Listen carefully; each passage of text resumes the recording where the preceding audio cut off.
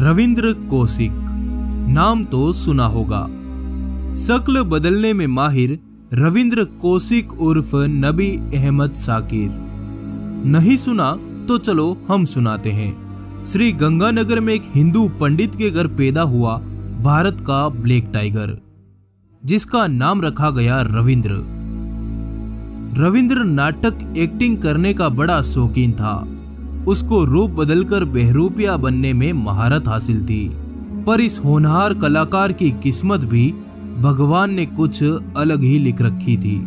वह यूँ कि रविंद्र की एक्टिंग देखकर लखनऊ के एक सेठ ने रविंद्र को लखनऊ बुलाया, जहाँ उन्होंने देश प्रेम का रोल अदा किया। उस किरदार में रविंद्र भारतीय सैनिक बने थे, जो चीन में पकड़े गए और एक कैदी के दर्द को एक्टिंग के ज़रिए बता रहे थे। लोगों को ये एक्टिंग बिल्कुल सच की तरह लग रही थी। उसी भीड़ में एक रो का अधिकारी ये नाटक देख रहा था। उसने रविंद्र को कहा, मेरे लिए काम करोगे? उसने रविंद्र को काम तो नहीं बताया, पर इतना कहा कि बहरूपिया बनकर मुसलमान की एक्टिंग करनी पड़ेगी। रविंद्र ने कहा, क्यों नहीं? रविंद्र के हामी भरने के बाद रो द्वारा उसे एक गुप्त स्थान पर ले जाया गया। फिर रविंद्र की दो सालों तक ट्रेनिंग चली और यह भी देखा गया कि रविंद्र में देश प्रेम और धर्म के प्रति कितनी आस्था है। ऐसा इसलिए किया जाता है कि कहीं मुस्लिम देश में कोई एजेंट पकड़ा जाए तो वो किस हद तक मुँह खोल सकता है। रविंद्र हर परीक्षा में पास हुआ। रविंद्र ने रो के अधिकारियों को खुश कर दिया था। आखिर में रविंद्र के इम्तिहान का दिन आ ही गया। रो के एक बड़े अधिकारी ने रविंद्र को बोला, पाकिस्तान जाओगे? रविंद्र ने कहा हाँ जैसा आपका आदेश। रो एजेंट ने कहा, तुम जासूस बन के पाकिस्तान जाओगे। मर गए तो तुम जानो और तुम्हारा काम। पकड़े गए तो हम आपके हैं कौन वाली बात होगी? मतलब हम तुम्हें पहचानेंगे नहीं?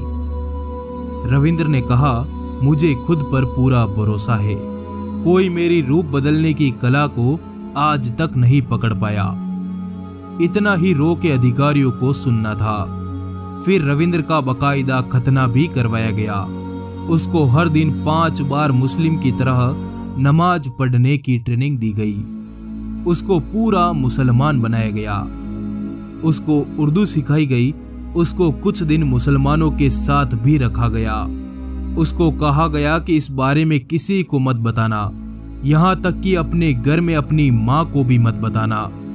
और तुम्हारे घर में तुम्हारे काम के बदले पैसे हम पहुँचा दिया करेंगे।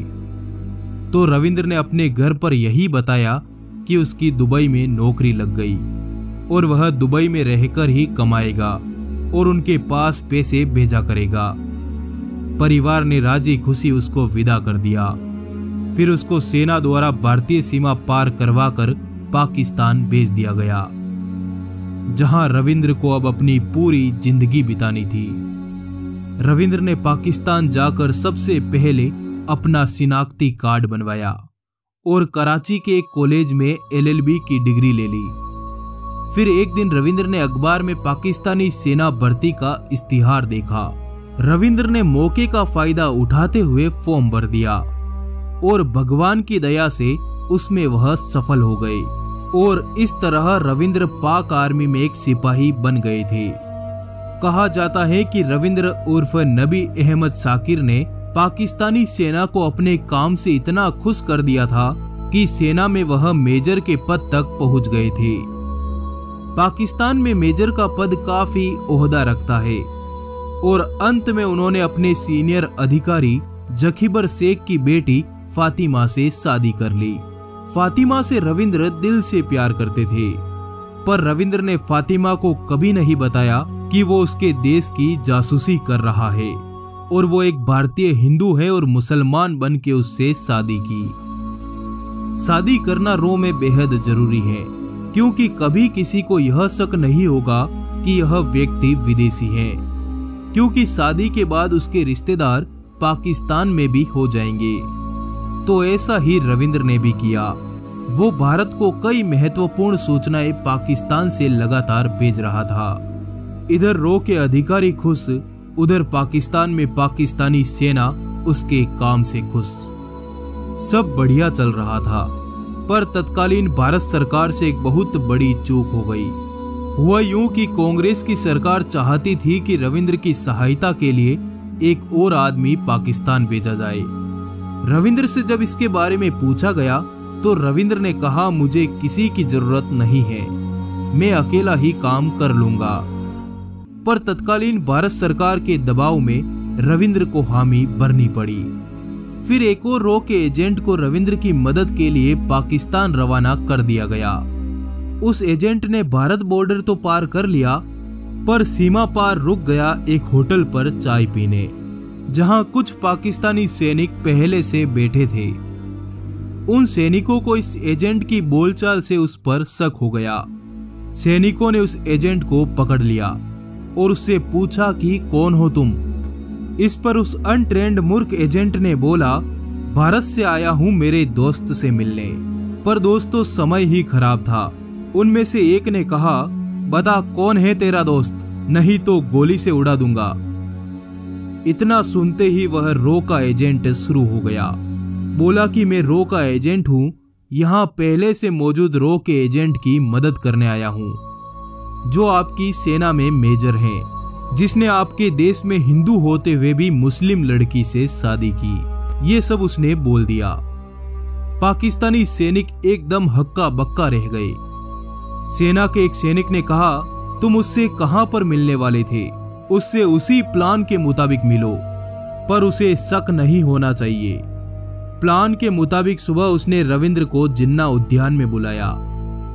रविंद्र समय पर पहुँच गए। दोनों ने हाथ मिलाया और चाय ऑर्डर की ही थी कि पहले से ताक में बैठे पाक सैनिकों ने रविंद्र को दबोच लिया।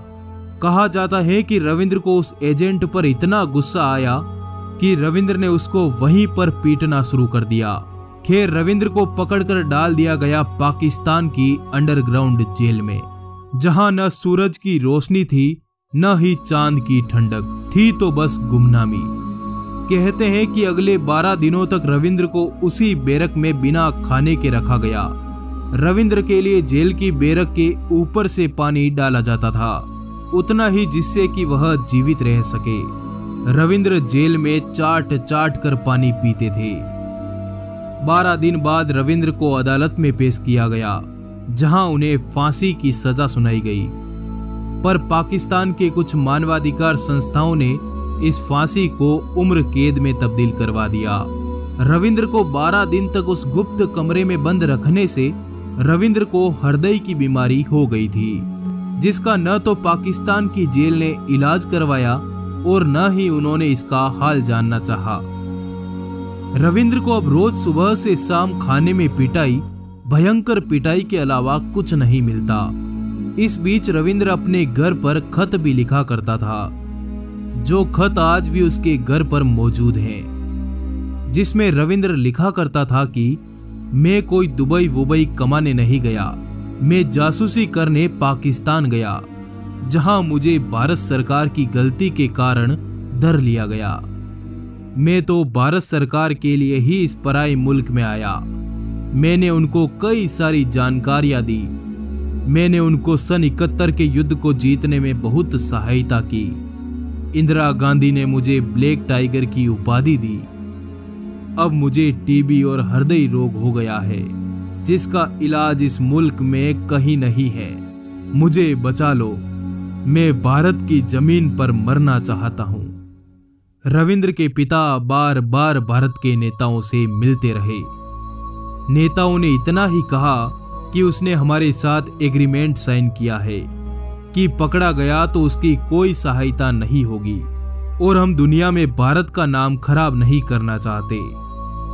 और अंत में साल 2001 में पाकिस्तान का टॉर्चर सहते सहते रविंद्र ने पाकिस्तान की जेल में ही प्राण त्याग दिए। भारत सरकार ने रविंद्र का शव लेने से भी इनकार कर दिया। दोस्तों, पाकिस्तान की नीचता भी गजब है। उन लोगों ने रविंद्र का शव कचरे के साथ जला दिया।